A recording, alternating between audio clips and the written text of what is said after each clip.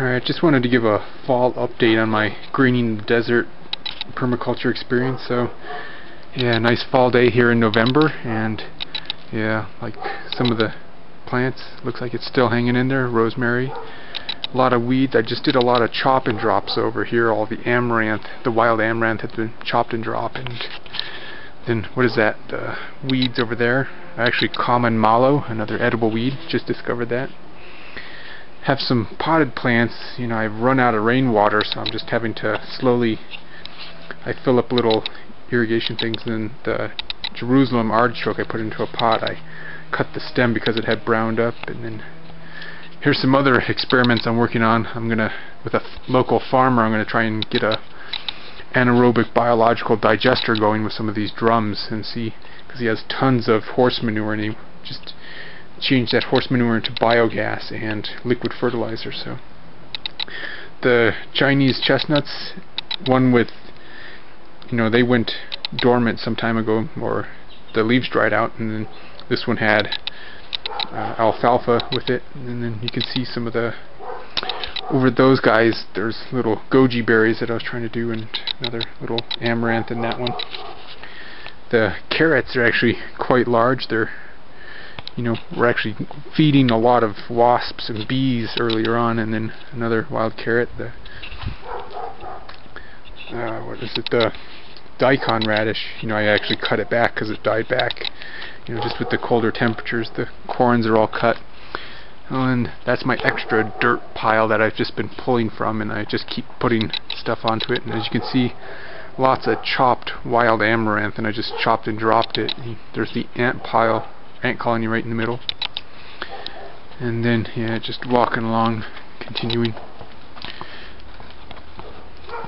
Yeah, there's the, I can't remember what the ground cover, ice plant I believe it is. We'll see if it makes it through. It doesn't like really cold temperatures, so hopefully it's close enough to a thermal reservoir, you know, the house or these tiles, you know, but it is in the shade on the northern side, so we'll see if it makes it. Yeah, another wild edible weed, a lot of London rocket or mustard rocket I think it's called. And then yeah the little start of the apricot tree over here. Yeah hopefully he makes it through the winter.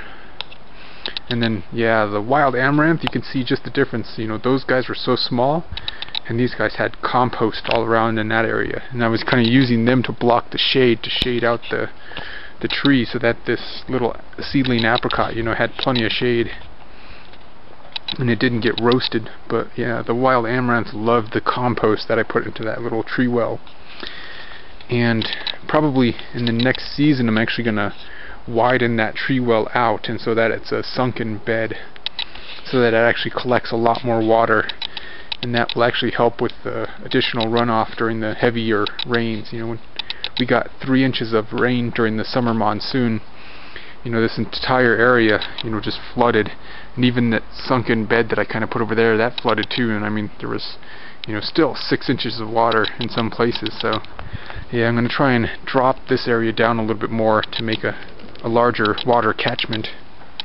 And see how that works. You know the great plants are hibernation you know and then I have a lot of this wheat you know that I got from the straw that came from it. And I was using that as ground cover now you can see quite a bit of it. The pear tree is losing all its leaves, dropping them right onto the ground, which is cool. And I just want to mention that I actually spoke with the neighbors, and yeah, you know, everyone thinks that their yard waste is waste, you know, but I loaded up both of my compost bins, you know, and took out some of the compost, put into little pots.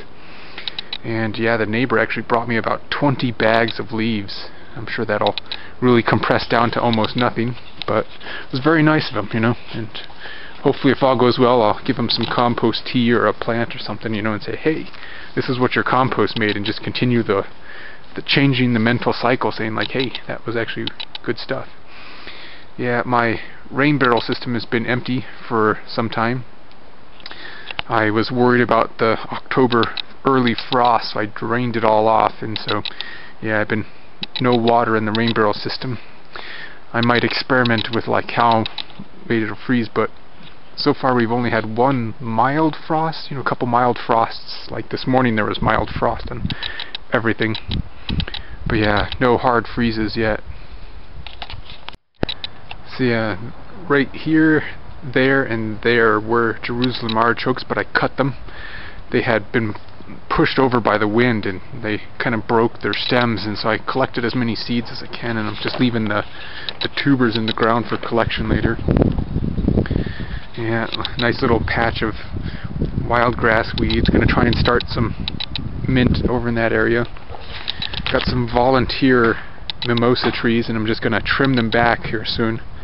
You know, because they're good nitrogen fixers, but I'm just gonna keep them small you know, kind of small bush level things, you know, and just kind of allow them to slowly mulch the ground area.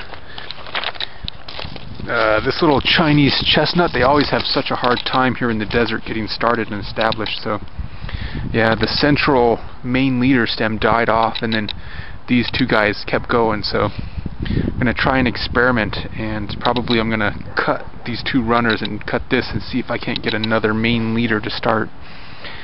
Yeah, and I don't know if that's going to work because, you know, when I did with this guy, I wasn't here for it, and so he did three years of his own just wild growth just everywhere, and that's why it kind of looks like he's crowned out into this giant ground bush. Yeah. Learning experience, and then the other rain barrel system over there, empty as well for over a month now. Right, best of luck on your permaculture projects. Thanks for watching.